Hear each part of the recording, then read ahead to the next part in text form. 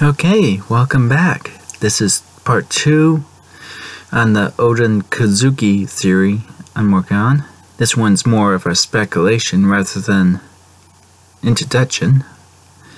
And this is how Odin Kozuki, or Odin, is gotta teach Luffy in the Alliance how to wound Kaido.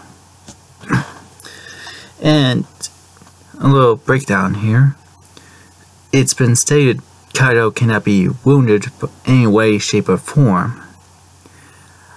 But I think there is a way to wound him, it's just not extremely easy. Because so far we've been seeing other characters using their own power to try and overpower Kaido. But where in fact, I think the weakness to Kaido's armor, or dragon armor in this case, is not to try to overpower him with your own power, but overpower him with his own power. And this thought process comes from the Rurouni Kenshin manga, uh, manga, however you pronounce it. Um, we see Kenshin's ultimate attack. I can't pronounce it here, but one of the translations I've seen was it being called a dragon attack. A heaven's dragon attack to be specific. And the only time we've seen it beat was when his brother in law countered him with a tiger attack. And this is why I want Odin Kozuki's devil fruit to be a tiger. It's the opposites of yin and yang on some symbols I've seen. And this is the basis for the counter. Uh, forget the author's name, whoever made Rurouni Kenshin. But I do know Oda helped work on Kenshin. But getting back on track. Um, basically, how Kenshin's ultimate attack was defeated was um, he, it was counterattacked before it was able to counterattack. If you don't know how Oden, yeah, Kenshin's ultimate attack works. Basically, it's a quick draw attack for the first wave. If you block it or dodge it, it creates a vacuum for about free for a very brief second. And Kenshin then uses the momentum gained from the first attack and the vortex created to create a second stronger attack. Whereas the anime, as I've seen in the anime, the first attack is the dragon's teeth.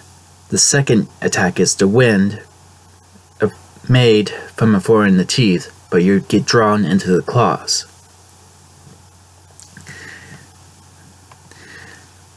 But should the dragon get careless, and this is going back to the manga, is if the dragon gets careless, by swooping down too low near the tiger, the tiger will use that momentum to leap up and strike the dragon. Hence, using the dragon's own power against itself. So, to fight Kaido, you need to use off observation haki at just the right point to dodge and then immediately counterattack at the right time. It might not be exactly this case each time, but I think you need to wait for the right opening rather than try to be reckless with Kaido just the way Luffy was and pretty much everybody else. Because we know Ta Kaido has been defeated, just never in one-on-one -on -one combat. Because it's kind of hard, hard to counterattack someone when they if you don't know how to counterattack them. It's just easier to overwhelm them by sheer numbers in the right way. Or basically what I'm saying is, Kaido has his weaknesses. We just never seen them because, well, he's just that powerful and it's easier to miss. And I'm betting the people who took him on in sheer numbers was someone at Katakuri's level. Or as I would mention in the comments, if you ever mention this, Dogtooth, his alias. Anyway, yeah, that's basically it. To defeat Kaido, you need to turn his own power against him. Not rely on just your own power. You have to combine your power to his power and strike at the right time. I know this part probably didn't make sense because my speaking pattern.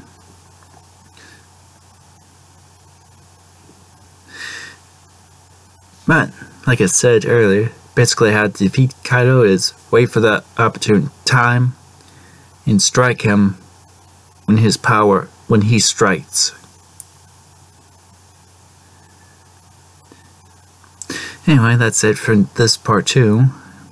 Different from part 1, but you kind of get the gist of it.